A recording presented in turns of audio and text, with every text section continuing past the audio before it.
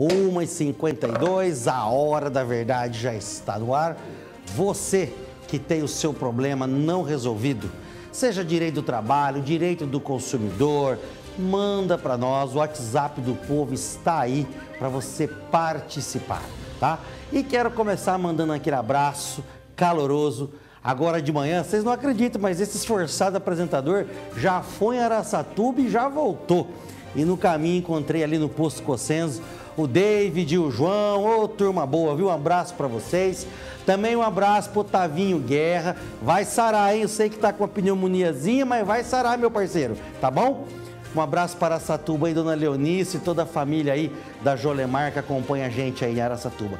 Grande abraço para vocês, viu? Bem, ontem vocês sabem que foi tenso. Foi tenso. Nós estávamos tratando do segundo golpe em menos de 60 dias em São José do Rio Preto de agências de turismo.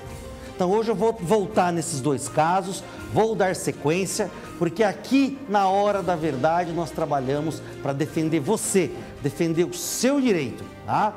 Bem, e nós pedimos, nós entramos em contato, a nossa produção, com o delegado do primeiro DP, doutor Hélio Fernandes, para saber como está a situação desse inquérito da agência de turismo que ontem nós tratamos, daquela senhora Flávia, né, que é a proprietária, que eu disse aqui, inclusive, eu divaguei sobre a questão do estelionato e encheram de vítimas aqui, eu tinha umas 7, 8 vítimas na porta do SBT, que a TV aqui, essa é a TV do povo, aqui o povo tem espaço, o povo é ouvido, tá? Então vamos ver o que, que o doutor Hélio disse para nós. Essa é a informação que ele me passou ontem por telefone. Eu iria colocar ele na linha, mas nós ainda não, não estamos no nosso sistema de telefone ok ainda. Acabamos de mudar o estúdio ontem, vocês viram que festa bonita, mas esses detalhezinhos estão para funcionar. Então vamos lá. O doutor Hélio disse o seguinte: disse que já ouviu uma média de 30 pessoas nessa semana e que irá ouvir mais inclusive a Flávia, dona da agência que está sendo investigada por estelionato. Bom, tô sem minha bola preta aqui, é, mas acho que não precisa nem explicar muito, né? Então, dona Flávia, fica aí a nossa expectativa, vamos acompanhar esse caso, não vamos deixar a coisa morrer. E eu volto a dizer aquela dica importante: quando você paga por um serviço, o prestador some, se apropria do dinheiro, caracteriza o estelionato. Então, se você fizer um acordo com ele documentado e ele não cumprir o acordo, você vai ficar com um processo judicial, ação de execução. Se ele não tiver bens, e geralmente esse tipo de picareta não pode nem chamar a mulher de meu bem, porque senão o banco alguém toma, tá certo? Essa é a grande verdade. Esse tipo de gente não tem um pardal para dar água, um gato para puxar pro rabo, tá certo? Então não resolve a gente ganhar uma ação na justiça e depois pendurar um quadrinho bonito. Ganhei ação na justiça, tá? Então fica aquela dica importantíssima. Se você está num problema desde um golpe, consulte o advogado ou procura a nossa Soprocom, a nossa entidade tente pelo caminho da via criminal. Porque a hora que você fala que vai pôr esse povo na cadeia, chilindró, aí a coisa funciona. Porque geralmente nas sentenças o nosso judiciário escreve: condiciono o cumprimento da pena em regime aberto, desde que seja ressarcido o valor para o consumidor, para a vítima. E falando de picaretagem, falando de golpes, né? Hoje eu vou falar só de golpe. E o nosso, a nossa função aqui é essa, gente, é orientar vocês, para quem acompanha a Hora da Verdade, quem acompanha o SBT, quem participa do WhatsApp do povo, que está aí embaixo, ó, é o 996-120226, está bem orientado, sabe o que está acontecendo. Então lembram do caso daquela agência do Fernando Tour? O rapaz que ameaçou a consumidora, disse que não iria resolver o problema dela porque ela procurou os seus direitos. Então, ele disse que estava cuidando de tudo, não disse? Então, o que nós fizemos? O caso foi encaminhado para o PROCON, professor Arnaldo, em caráter de urgência. Foi agendada uma audiência lá no PROCON, onde o dito, o dito proprietário, senhor Fernando, teria sido intimado, mas olha só o resultado dessa audiência. Roda o VT. Qual foi a nossa surpresa? A nossa surpresa foi o seguinte: ele recebeu ontem, na, na verdade recebeu no dia é, 14, né? No dia 14 de maio, gostaria que a câmera chegasse. Esse aqui é o AR de prova de recebimento, tá? No prova de recebimento palavra Fernando Zóio Doutor. A pessoa que recebeu, curiosamente, chama-se Fernando Zóio. Só que ele disse que ele é desconhecido. Ou seja, o proprietário dá a impressão para nós que ele não sabe quem é ele mesmo. Ok, ele recebe o AR, diz que não sabe quem é Fernando Zóio e assina como sendo Fernando Zóio. Então fica muito difícil nesse aspecto. O pessoal da Sopocó, inclusive, agradeço demais o empenho de vocês, porque é mais uma empresa que trata o consumidor literalmente como se não fosse nada. Bom, então vocês estão vendo ali o vídeo feito no horário da audiência. Vocês perceberam que esse cidadão tentou dizer que não foi intimado, mas vocês viram as imagens, foi intimado, não compareceu, ou seja, virou as costas para o consumidor, para a lei. Só que a lei vai atrás dele, você pode ter certeza disso. Então, gente, eu tenho que agora. Falamos de dois casos então. Falamos desse caso da agência Fernando, Falamos do caso dessa, dessa moça que chama Flávia, ok? Então, em menos de 60 dias, dois casos. Na minha conta, passam de 400 vítimas. Entre 300 e 400 vítimas dessas duas agências que receberam ou rescindiram contratos e não devolveram, não restituíram o dinheiro para o consumidor. Então, vamos para algumas dicas importantíssimas. Vamos lá. Número um, procure uma agência conceituada um, e principalmente vocês viram a situação que nós estamos. Então veja bem, tomem cuidado, verifica se essa agência tem um bom histórico. Como fazer essa consulta? Você pode ir no site da Fundação Procon e no próprio site do Tribunal de Justiça de São Paulo. Você consegue jogar o nome da empresa e descobrir como é que está a capivara dela lá Tá certo? Então, muito cuidado, preste atenção. E claro, gente, sempre, só indicação não é, não é a questão, porque às vezes a gente indica e dali a pouco apronta o golpe, né? Que diga meu amigo aí, o Sá. O Sá, coitado, foi a, eh, a eh, indicar com todo o carinho do mundo, tinha boas referências e agora tentaram até envolver o coitado, a moça tentou jogar nas costas dele. Um abraço aí, viu, Sá? Sabemos da tua idoneidade, da sua decência, viu, meu querido? Não se sinta culpado em nenhum momento. Então, gente, vamos para as agências tradicionais. Amanhã eu falo o nome da minha agência viu, que eu uso. Amanhã eu vou falar para vocês, que ali eu confio. Amanhã eu falo para vocês, tá? E por falar em confiança, eu quero falar agora, dar um recado para vocês, tá? E agora o recado que você é o seguinte, olha só. Você já pensou em tudo que a engenharia faz? E a agronomia? A engenharia ilumina casas, indústrias, cidades e produz quase tudo que você imaginar. A agronomia, agronomia alimenta bilhões de pessoas em todo o mundo. E a engenharia constrói, transforma, inova, conecta, interliga, transporta e dá impulso para a economia do país. A engenharia usa conhecimento para melhorar e dar segurança à vida. Por isso, precisa ter fiscalização. E o CREA São Paulo é o Conselho de Engenharia e Agronomia do Estado de São Paulo, tá? Habilita, orienta engenheiros, agrônomos, tecnólogos, profissionais das geociências e fiscaliza suas atividades em todo o estado de São Paulo. Fiscalização boa para o engenheiro é essencial para a sociedade. Engenheiro para valer tem que ter o CREA, ok? Então, um abraço pessoal do CREA, aí é sinal de, de seriedade e idoneidade, tá? Bom, e agora eu quero chamar para vocês, falei que ia falar de golpes, né? E vamos continuar falando de golpe aqui. E depois, olha só, olha esse VTzinho. O que, que os picaretas estão armando na internet? E eu vou contar para vocês uma vítima. Roda o VT aí. A internet vive um momento onde qualquer descuido pode ser fatal. A segurança de seus dados está em jogo. Muitos dos golpes aplicados na internet podem ser considerados crimes contra o patrimônio, como estelionato. E os golpistas concentram os esforços para explorar um segundo de fragilidade dos usuários. E bastou esse tempo para este estudante ter um prejuízo de quase dois mil reais. Ele não quer se identificar, mas quer deixar um alerta para que outras pessoas não caiam no golpe. Ela assim, veio pelo meu número de WhatsApp, entrou em contato comigo e queria saber a respeito do produto, que segundo ela era aniversário de casamento dela e do marido e ela queria comprar de presente pro marido o Xbox. Aí a partir daí ela foi ganhando minha confiança e foi aplicando golpe, pouco a pouco. Quando a vítima criou um anúncio na plataforma do outro site, que oferece opções de parcelamento, o golpista agiu. Pediu que a vítima enviasse por e-mail o link do anúncio com o pretexto de localizar mais fácil. Foi aí que ele caiu na cilada. Ela me enganou para eu enviar o e-mail do meu e-mail particular para ela com o anúncio, né? E a partir daí ela já tinha todo engajado, né, para passar o golpe. O golpe durou duas horas, registrados em conversas pelo WhatsApp. Quando o golpista ganhou a confiança do estudante e pediu para enviar por e-mail, teve as portas abertas para disparar e-mails falsos de confirmação de compra. A vítima acreditou que o dinheiro havia sido pago, mas era tudo mentira. Ele não se deu conta, mas uma das principais dicas de segurança do site é de jamais se comunicar com o um comprador fora da plataforma.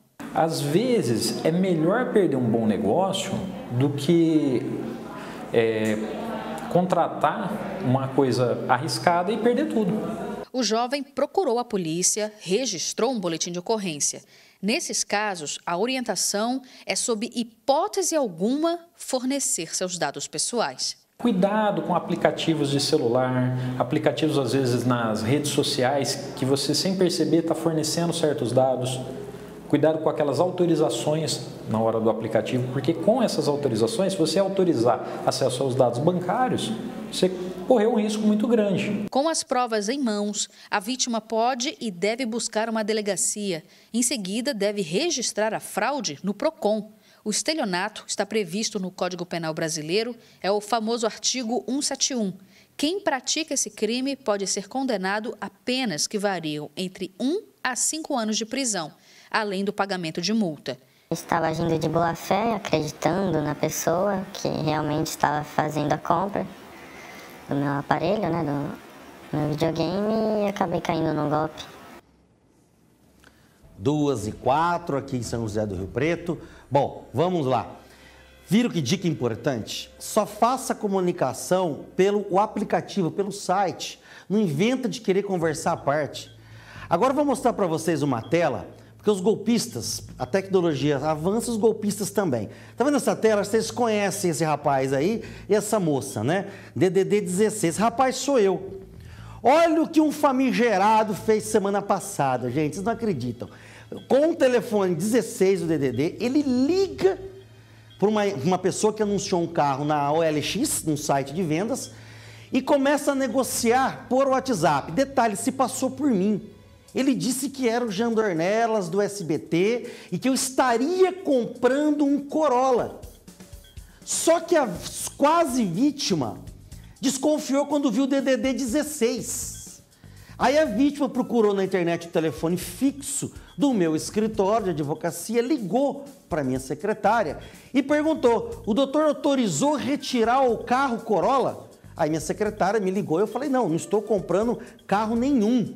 Nenhum. Ou seja, a pessoa quase que confiando na gente, na imagem pública que nós temos, quase que a pessoa entrega um carro sem receber. Então, olha só. Só que aí esse infeliz aí, eu liguei para ele. Porque a gente não tem medo nem da onça, não vai ser do rastro. Eu liguei, ele não me atendeu. Aí ele desligou o telefone, desconectou. Ah, seu picareta, aparece aqui, aparece aqui. Marcinha, vem cá você agora. Agora você já sabe. Boa tarde, Marcinha, tudo bem? Gostou da festa ontem aqui? A Márcia esteve aqui na nossa festa de inauguração dessa nova sede e ela prometeu que hoje ia trazer promoções maravilhosas, fechamento de mês. Então, embeleze nossa tela, Márcia, conta para nós aí. Estamos aí no fechamento do mês, a Doctors Colchões, então nós preparou a loja toda em 12 vezes no cartão. E aí eu trouxe uma promoção aí para você que precisa trocar o seu colchão, que já está com dor nas costas. Passe em uma das nossas lojas. Esse colchão mais o box por 12 vezes de R$ 97,90 no cartão. É o colchão e mais o box. Você compra o colchão e leva o box. Os nossos colchões são todos certificados pelo Imetro, garantia. Esse é um colchão de mola, super firmezinho, mas eu tenho várias outras outras promoção aí. Então você que precisa trocar, ligue para a gente no 17 992738221 ou passe uma das nossas lojas. São quatro lojas em Rio Preto, em Mirassol e aproveite aí a promoção. É isso aí, Marcinha. E aqui eu assino embaixo. Anunciar na hora da verdade é sinônimo de respeito e credibilidade. Olha, e vocês lembram da Praça do Povo é Nossa, que a Marcinha me acompanhou muito lá? Lembra disso? Toda terça-feira? Pois é, a praça voltou, só que agora a praça veio até nós, nesse estúdio novo, o maior, mais bonito estúdio de TV do interior de São Paulo. Vocês vão conhecer uma parte dele daqui a pouco, que a praça veio até nós depois do intervalo. Tô lá na praça. Até daqui a pouco.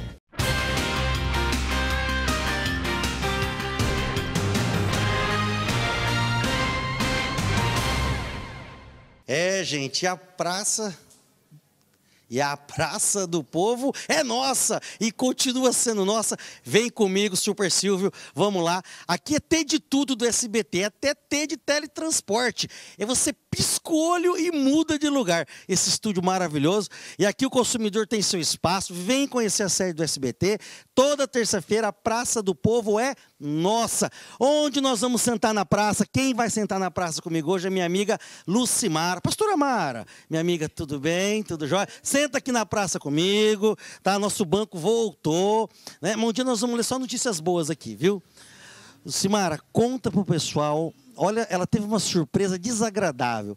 Acostumada com a conta de energia normal, coisa de 300 reais por mês tal. De repente, um belo dia, a conta dispara. Conta pra gente o que, que aconteceu. Bom, foi uma surpresa, né, Dornelas? É, no mês de janeiro, nós, mora só eu, meu esposo e o nosso cachorrinho. e já estava vindo alta a conta de energia. Que valor mais ou menos vinha? vinha 380, 430 para duas pessoas numa Onde casa. você mora aqui em Rio Preto? Mano? Eu moro no Jardim Santo Antônio. Isso. E assim, nós temos pouca coisa, temos um ar condicionado, mas mesmo assim não era Não muito, não justifica. Então nós pedimos para a CPFL dar uma revisada. E o relógio era antigo, aqueles de ponteiro, e vieram e colocaram o relógio digital. Na primeira conta, que foi no mês de fevereiro, né, é, veio 5.400. Para tudo, peraí, peraí. Você pede para revisar a conta, eles trocam o relógio e de 300 sai para 5 mil? 5 mil, tá aqui na minha mão. Nossa, vai- o pessoal vai mostrar aí, né, produção? Vai aparecer na tela, né? Vai aparecer na tela aí a conta de 5.400 5.400 reais. Olha, você está vendendo energia ali, hein? Meu Deus do céu. Vamos lá. E aí, como é que você, como é que você procedeu, mano? Bom, então, isso foi no mês de fevereiro, quando chegou essa conta. E aí o meu esposo foi até a CPFL e foi lá reclamar, temos vários protocolos, né? E reclamou e eles diziam, não, vocês vão ter que pagar. Né? Nós falamos, mas como? Levamos as contas anteriores e eles diziam, vocês vão ter que pagar. No próximo mês, é, eu nasceu a minha netinha, mora no exterior, nós fizemos uma viagem para Via Neta. Ou seja, não tinha ninguém em casa. Não, ficamos 17 dias fora de casa, né? E aí veio quanto? 1.330 reais. A conta não fecha, né? Não, não fecha. Bom, é, devia estar atômico esse relógio, né? Devia estar atômico, rodando a um milhão por hora. Doido.